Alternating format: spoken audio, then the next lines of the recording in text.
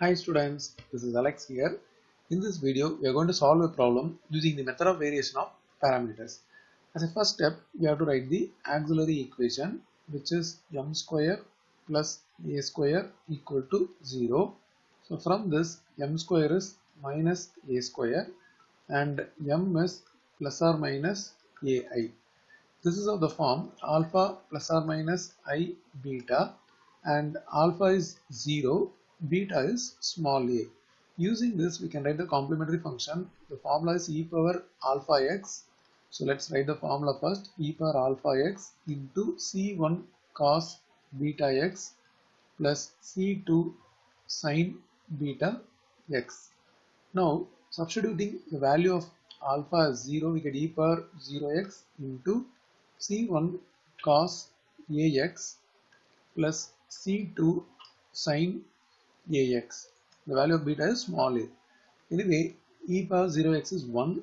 So we get complementary function as c1 into cos ax plus c2 into sin ax.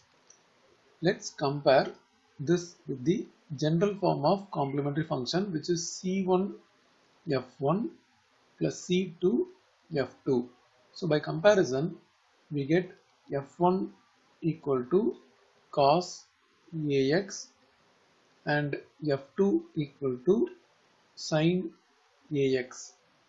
Now particular integral formula is p into f1 plus q into f2.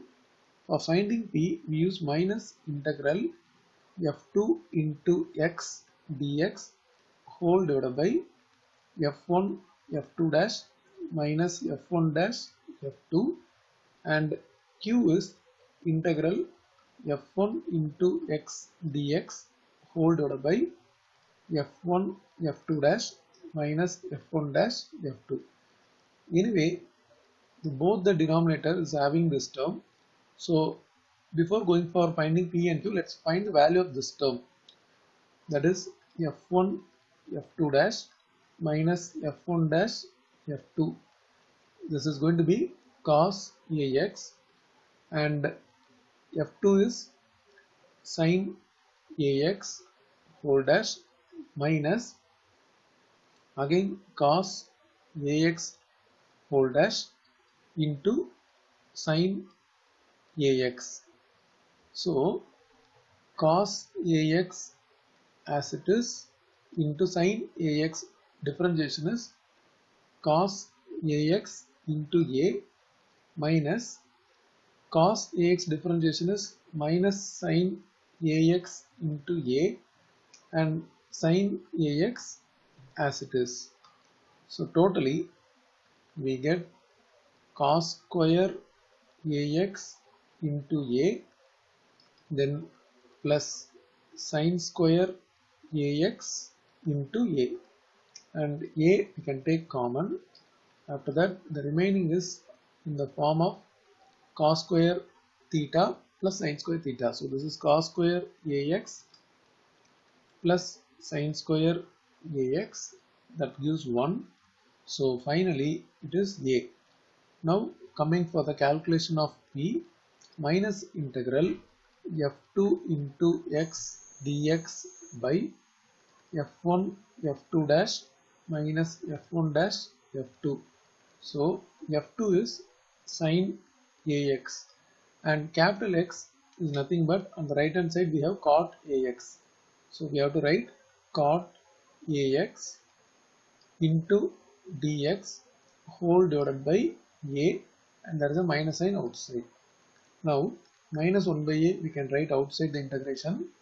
This is sin ax into cot is cos ax by sin ax dx. We can cancel these two.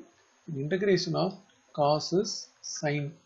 So sin ax by a. So is going to be minus 1 by a square into sin ax. Now coming to q. q is integral f1 into x dx whole divided by f1 f2 dash minus f1 dash f2 so f1 is cos ax into capital X is f1 is cos ax and x is cot ax into dx whole divided by a. And let's rewrite the cot as cos ax by sin ax. And outside we have 1 by a then we have dx. So totally 1 by a integral numerator is cos square ax divided by sin ax dx. But numerator can be written as 1 minus sin square ax and I can individually divide by sine ax both the term and into dx we have. And we can cancel this and this and 1 by sine a becomes cosecant ax. Then the second term is minus sine ax dx the integration of cosecant ax is log of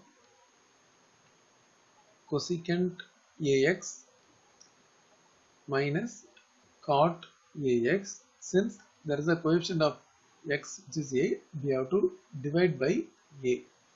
Then minus sin ax integration is plus cos ax by a totally we can take this common denominator a outside and already there is 1 by a. Now it is becoming 1 by a square bracket open log of cosecant ax minus cot ax plus cos ax so we finished p and q. Now coming to the particular integral p which is minus 1 by a square into sin ax minus 1 by a square into sin ax p into f1 which is cos ax plus q q is this full term 1 by a square into log of cosecant ax minus cot ax plus cos ax into sin ax. Because it is q into f2 now combining both we get complete solution which is cf plus pi. So y equal to c1 cos ax plus c2 sin ax is cf. Then pi first term is we had minus 1 by a square into sine ax cos ax. And when I'm writing the second term we have 1 by a square and sine ax outside the bracket. So let's multiply inside the bracket. So it is going to be continuation of this plus 1 by a square log of cosecant ax minus cot ax into sin ax. Then we have to multiply this 1 by a square and sin ax with the cos ax. So plus 1 by a square into cos ax into sin ax. We find these two terms are similar. 1 by a square sin ax cos ax which is minus sign here 1 by a square sin ax cos a square positive. So both the terms we can cancel. After cancelling the final answer complete solution is c1 cos ax plus c2 sin ax then plus 1 by a square into log of cosecant ax minus cot ax into sin ax and this log term is in a separate bracket. Even in the previous step, this log term is separate into sin ax.